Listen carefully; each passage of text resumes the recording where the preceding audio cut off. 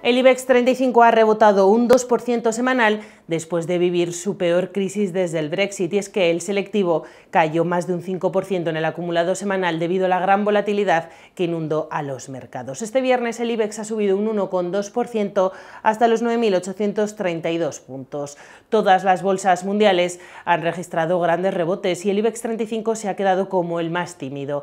Y es que en Europa de media han subido un 5% semanal y Wall Street eh, sube en torno a un 7% en el acumulado semanal.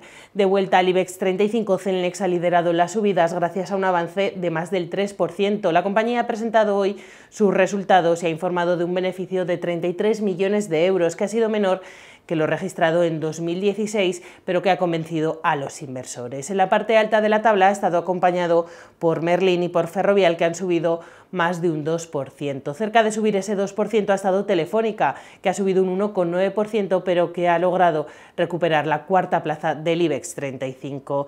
Eh, en el lado de las caídas, solo tres valores han cerrado en negativo. Melia, que se ha dejado un 3%, Siemens un 0,32% e Indra un 0,18%. Otro de los protagonistas de la sesión ha sido el euro, ya que ha tocado máximos de más de tres años en su cambio contra el dólar. La moneda única ha llegado a tocar los 1,25 dólares. Pueden seguir informados en bolsamanía.com. Muchas gracias.